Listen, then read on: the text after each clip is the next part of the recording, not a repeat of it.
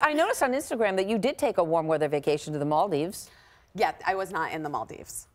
Well, you said you're in the Maldives. No, I know, but I was with my I was with my friend who's also an actress, Michelle Williams. Oh, and, she's lovely. And we were talking, and she's like, "I would love to be able to Instagram this picture, but I don't want people knowing where we were, where we are on vacation, because she didn't. No one wants a paparazzi photo in their bikini. Yeah, right. You know."